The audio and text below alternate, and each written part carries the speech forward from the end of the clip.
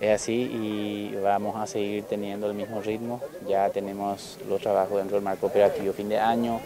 Eh, también estamos aprovechando, por decirlo así, la, bajante del río para poder retirar la mayor cantidad de basura posible que, que queda y eh, presentar un entorno más amigable de, lo que es la Bahía de Asunción. ¿Otras zonas del río Paraguay también se están haciendo limpieza?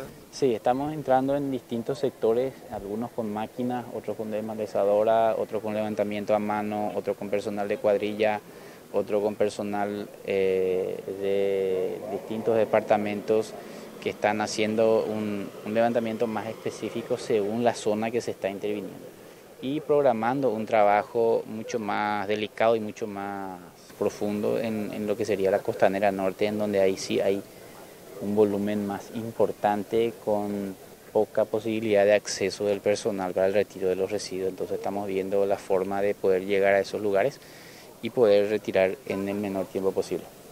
¿Hoy, ya se, ¿Hoy se iniciaron con estos trabajos o ayer ya estuvieron? Sí, ya en realidad los trabajos iniciaron el fin de semana pero estábamos más concentrados en el operativo Copa Sudamericana. Desde hoy ya de, manera más intensa, con mayor presencia del personal y con mayor equipamiento también que nos va a permitir eh, retirar esa meta de 30.000 kilos de basura que tenemos eh, pensado retirar aquí en la jornada de limpieza.